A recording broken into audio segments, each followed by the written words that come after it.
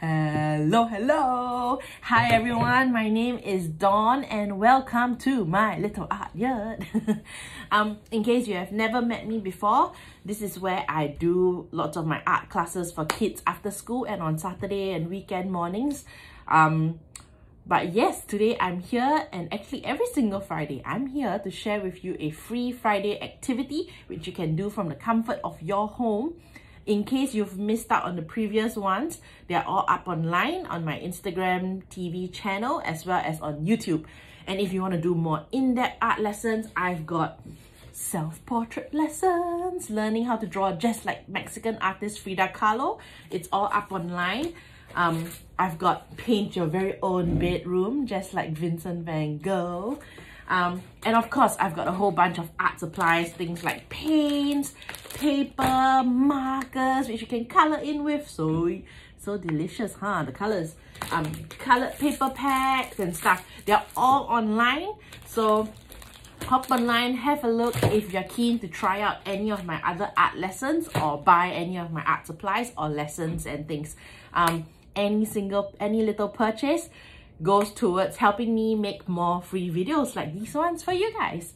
So yes, without further ado, let's start. So today, today, today, we are gonna make a very fun zoo using some exciting shapes. Now, I'm gonna tell you what we need first and then we're gonna start, hey? First thing first, we need a very thick piece of paper. Okay, it's gotta be thick so that when you paint, it doesn't tear. You have to have you got to use paint. Now, if you don't have paints, um, you can definitely use crayons or colored markers and things, but I like using paints. And if you're after paint sets like these, I definitely have them online. So have a look. They last a long time. Like these paint sets, they are like, I think six years old and I use them every single week with the children that I teach. And they're still, whoa, lots left. So yeah, paints, paper. You need, of course, a paintbrush a pot of water, some paper towel or toilet paper to dry your brush so that it doesn't get too wet. You need a permanent marker, not too fat, not too thin, about this size will do. Or if you don't have a marker, just use a pen. And of course, you need some shapes. Now, these ones are special shapes that I have. I bought them because I teach a lot of art lessons with these shapes. Um, if you don't have shapes like these, look around your house. Look for things like, um, you, you can find anything with a shape, I guess. You can use things like Lego blocks. You can use, I don't know, paper towel rolls. You, you see, you can get circle from that. You can use cups, you can get circles, you can use cereal boxes, you can use all kinds of things. Find, look around the house to look for different things that you can use, you know, shapes with, or even things like, I don't know, plates and you know, Tupperware lids and things. So look around, don't worry if you don't have shapes like that. Look through your toy cupboards and stuff. But if you're really lost and you don't really have things around the house that, you know, are small and, you know, you can use for drawing, you know what you can do? Get a piece of um, cardboard or even a cereal box and draw some shapes on it, cut them out, and there you go. You've got shapes made out of cardboard. So today we're going to use shapes and we're going to draw a zoo. Mm -hmm. We're gonna go to the zoo. We're gonna draw some fun animals. We're gonna make up our own animals using shapes. So the animals are not really gonna look like proper actual animals that you see at the zoo. They're gonna look a bit funny and a bit strange, but that's the whole point. You're gonna make it look exciting. So what we're gonna do is we're gonna fill up the whole piece of paper with different different animals and then we're gonna paint it. It's gonna be quite a fun activity because you're gonna use your brains a lot and you're gonna think, oh, what do I do? Maybe I can add a few of these shapes and I'm gonna make a giraffe maybe.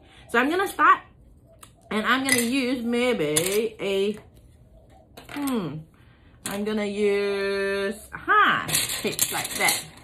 And I'm gonna draw a giraffe. There you go. That's the neck.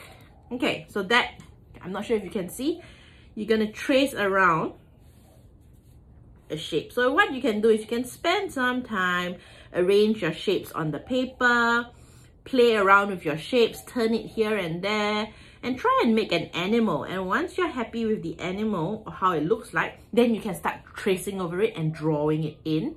So what I've done is I've decided to draw the body, the neck, and the head of a giraffe. Da, da, da. And of course, the giraffe needs legs as well. So I'm going to add maybe one little leg here.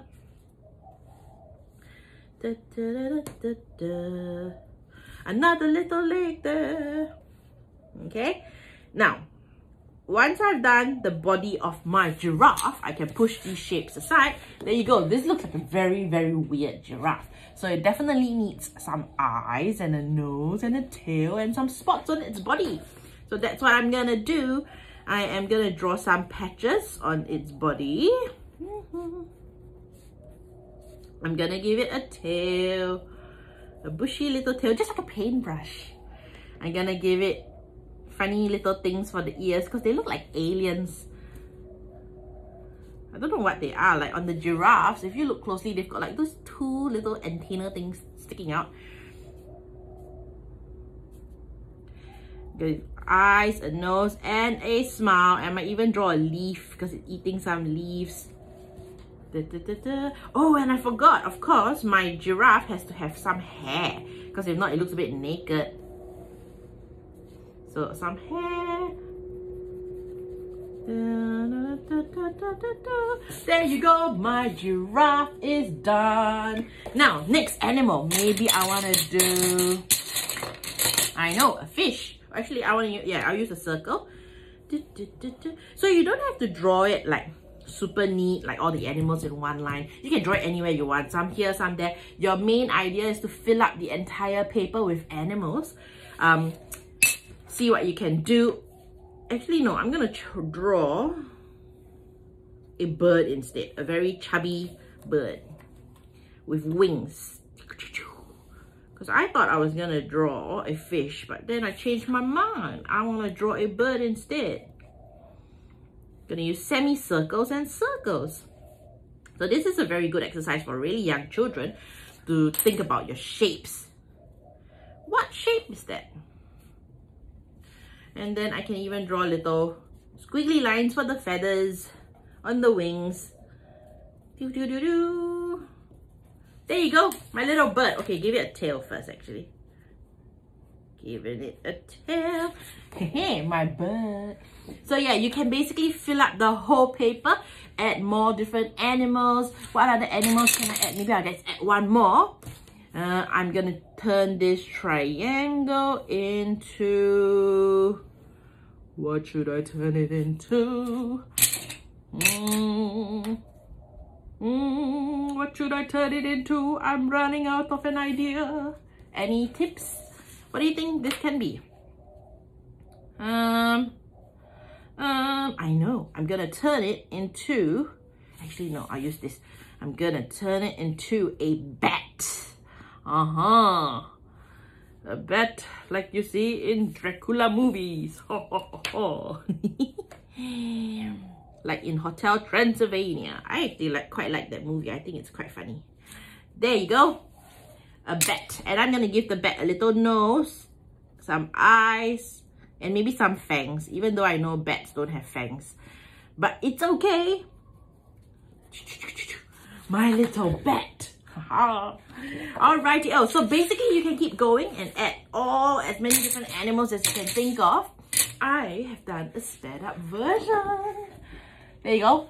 See whether or not you can see all my little animals. That's a fat hippo, that's a snake, that's a tortoise, that's a pelican, that's another bat, an elephant. See, using circles and rectangles and semicircles. Uh, I've done a fish, I've done a cockatoo with a very big mouth.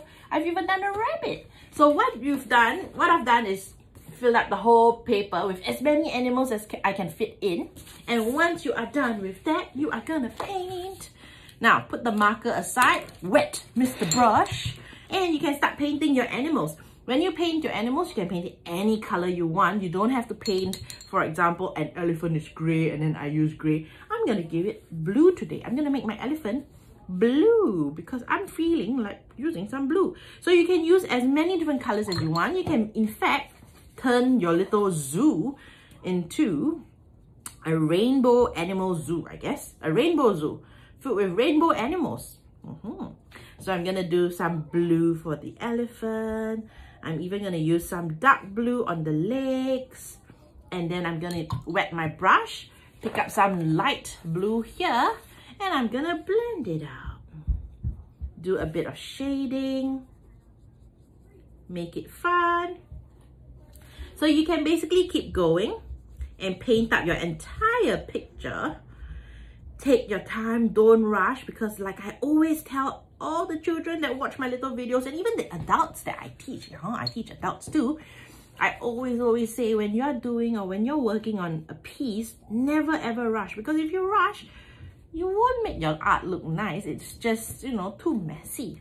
So take your time and paint it. But of course, when you take your time, don't, don't do it so slow like you're a snail as well. Because if not, you'll be 90 years old like a grandma and you're still painting. so yeah, take your time. Work on your pieces at the at a nice little pace. Don't rush. If you're hungry, stop painting. Go grab a bit of a breakfast and then come back and paint again. Okay? Because you don't have to finish this whole art piece in one go. You can work on it, you know, throughout an entire day or even over an entire week. Okay, so that's what I'm actually going to do. I'm not going to sit here and speed paint all the way because I want to take my time and paint up a beautiful art piece so that I can share it with you guys at the very end of this class. Okay, at the very end of the video. Um, sorry, not at the end of the video, but after the video, I'm going to basically sit here and do it. And then I can put it up online so that you can see.